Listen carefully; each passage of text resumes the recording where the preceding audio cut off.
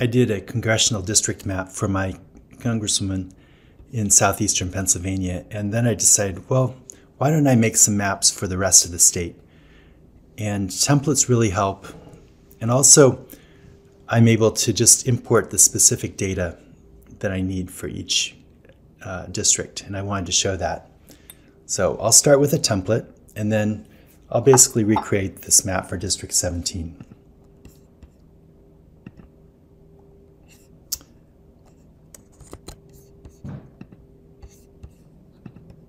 New from template.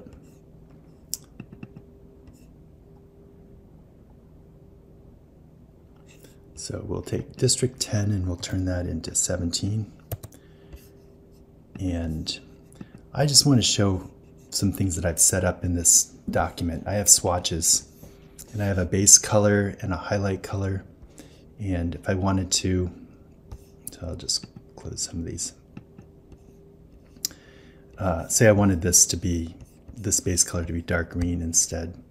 I could just take this green and hold down on the option key or the alt key and go up to base color and change it. So now district 17 is green and I could do this highlight color and take that one and just drag that up to there as well. So now our highlight color is a light green. So right now I have a map view called state map and this has all of my projected information in it. And I have this scale bar in there. I have um, my text that relates to those to that state map in there. And I'll take this um, layer, come back over to layers, and duplicate that.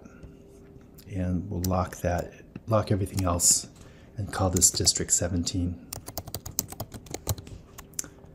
and hit return. So now that I have this, this is the same. I can turn off the state map and you can see um, that is an opacity, layer opacity. So this actually, we'll just make this 100%. Okay, for this district 17, I want to select that 17 and I'll just lock everything. Lock that, but select everything else and delete everything else then I'll unlock it and we'll just give that a color too. All right. Now um, we can go back over to our map views and duplicate the state map map view. And I'll call this District 17.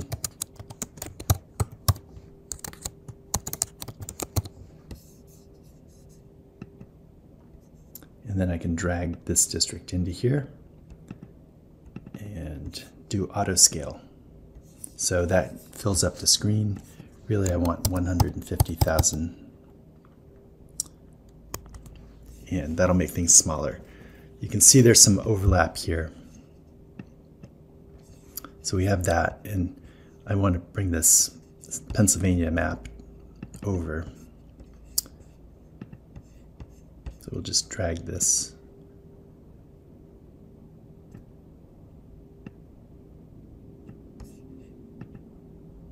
So that came down there. And then I can come back to my layers and go to my title.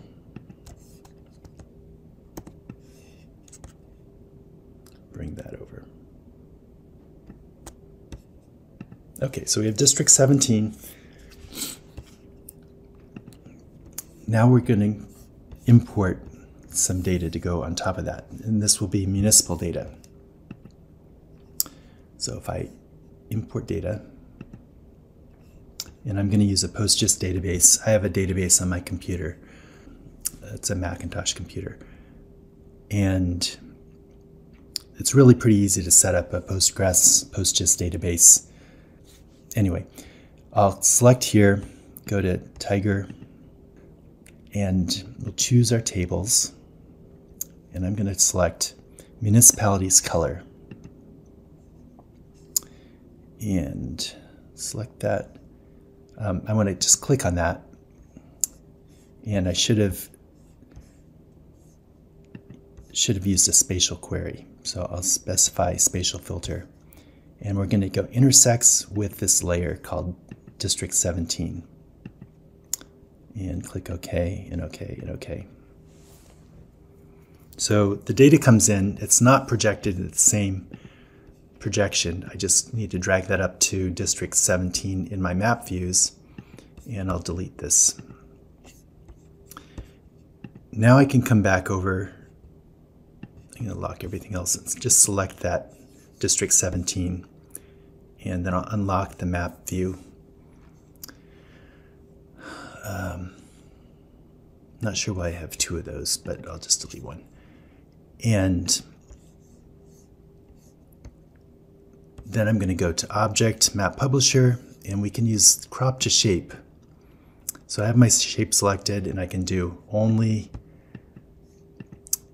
PA Municipalities Color Area 1. Okay. This will take a minute, and it will crop everything except for a few polygons that are touching where there might have been an overlap. Close.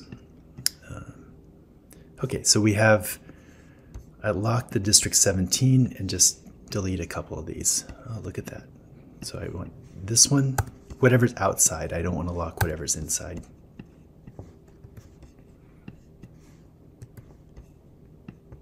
And this last one here, see how it's in both, it's both in and out of the district. So I'm going to create a new layer in and out district.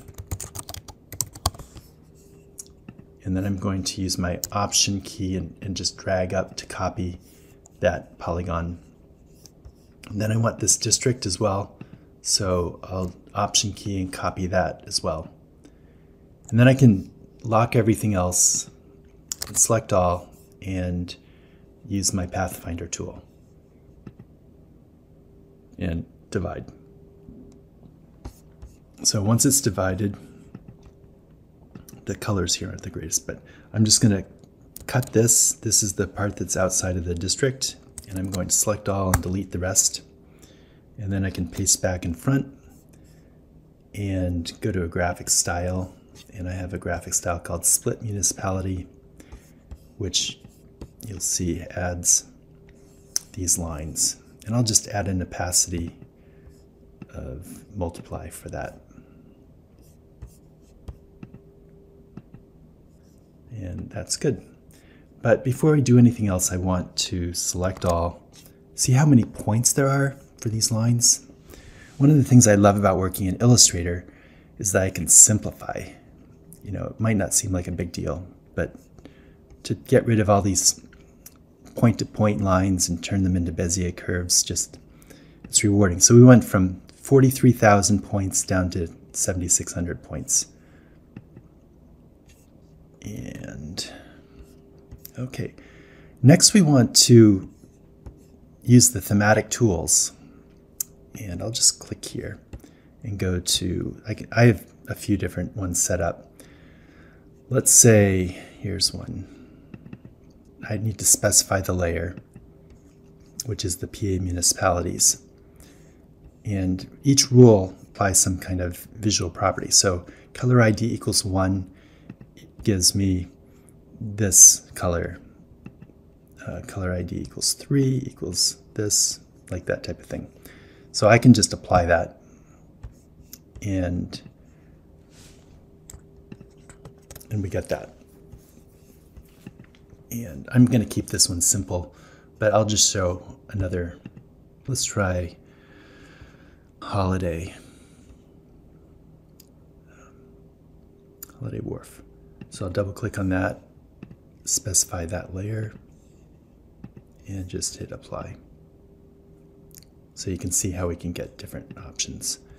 I think this might have been missing. This green just doesn't seem like it makes sense.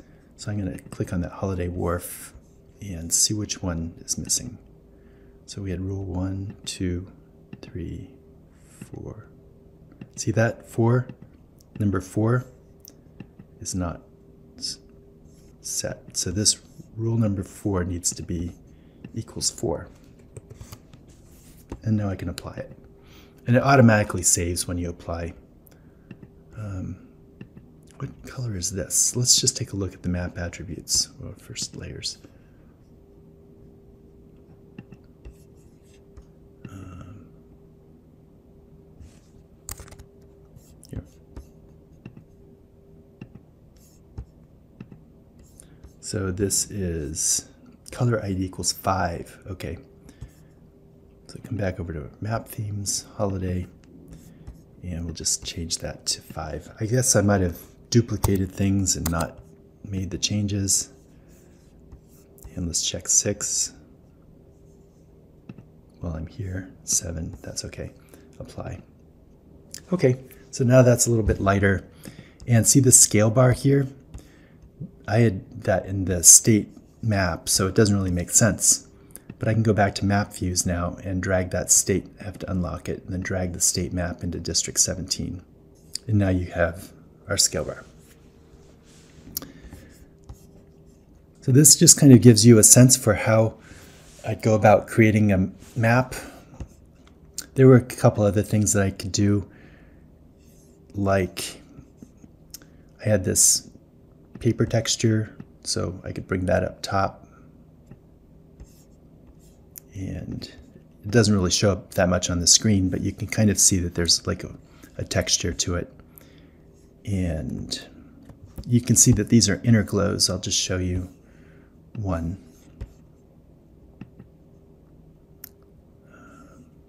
So if I select that and I go to appearance, this has an inner glow of 60% and a 10 point blur. And it goes from the center. So that just gives you a sense for that. And we could also duplicate this.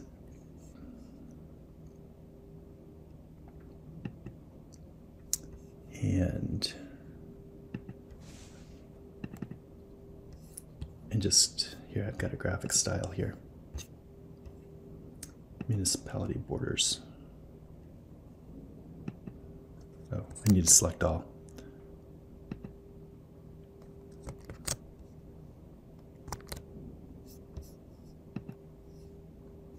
oops I probably didn't want my legend in there. That and lock this one. And this can all be we can just go to our appearance and just clear the appearances there. And then go to graphic styles and add that basically just a one point stroke. It's not a big deal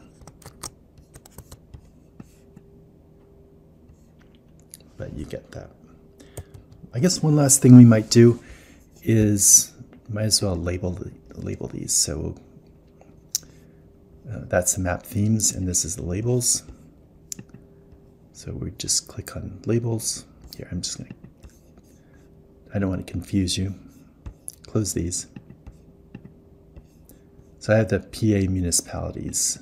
We're to keep that one. And We'll go labels. I use Map Label Pro, which I think is totally worth it. And so I click here, click label, we give it the name, and I have some defaults set here, and label. Okay, those come in. The only thing I wish is that, you know, I wish these could be center justified on the import, but they're not. So I use a script that changes that point from left justify to center justify.